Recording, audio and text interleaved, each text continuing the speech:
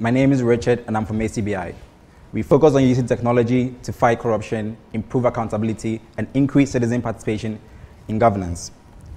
Transparency International, one of the most renowned organization in the organization, anti-corruption organizations in the world, has indicated that one out of every four person have to pay bribe to access basic public service such as health, education, in the judiciary, and even acquiring permits and IDs. This is wrong. We present to you the the Bribe platform. Now, this is a platform that gives us three, that provide three ways of solving this problem. First of, of the problem is collecting data from citizens. By collecting the data, we analyze the data and we implement necessary reforms in the state institutions. There is, however, a current hack. Ghana Integrity Initiative, the local chapter of Transparency International, is currently hosting an I Pay the Bribe platform but there are some deficiencies to it. First of all, no one knows about the existence of the platform. The, the, the architecture of the platform is not, does not meet the standards of 2020.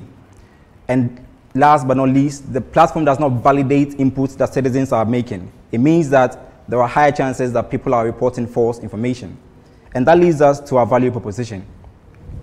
Over the past few months, we have present, we've built a simple MVP that resolves most of the challenges that this platform is facing.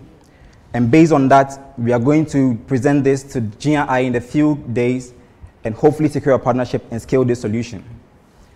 Our MVP also comes with a dashboard. What I'm, what I'm demonstrating right now is a map of Ghana, and by selecting certain regions, you get to see the breakdown of cases we've received over the couple of years or days. We can, add, we can narrow our analysis from national to regional or to even districts.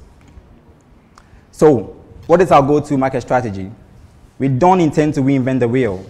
And also having two parallel websites that perform the same purpose is simply not smart.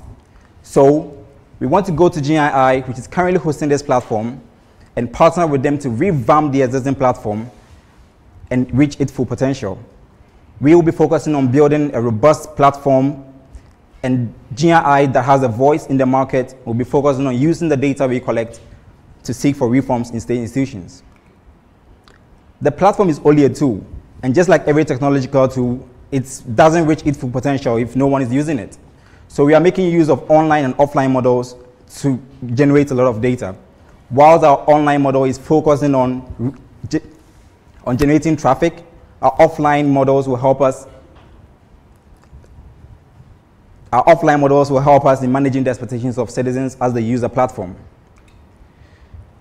The platform is a cycle. It means that data is being collected every single day.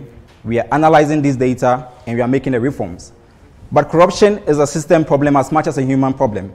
So whilst you change the system, the humans are also evolving. So we constantly need to be looking at what we are receiving, the reports we're receiving, and changing strategies or implementing the right strategies to reduce this problem as much as possible. Our commitment to, as an organization is to learning. Actually, we value that a lot. And that is why it's important that we incorporate that in this. And through that, we project these reports in the next couple of years. In the first five months after launching the platform, we estimate that we reach 10,000 reports. After a year, we estimate we reach 600,000 reports. And after two years, we estimate we will reach a million reports. Our revenue model as an organization are in three folds. There is donor or grants, there is partnership, and then there is contract. Now, it's impossible to task people to fight corruption. So for this project, we are focusing on donor or grant support. However, we have partnerships and contracts on the other hand to keep us, to keep us sustained as an organization in our operations. The team is led by myself, Solomon, and David. I have a background in executive management, consulting, and system analysis.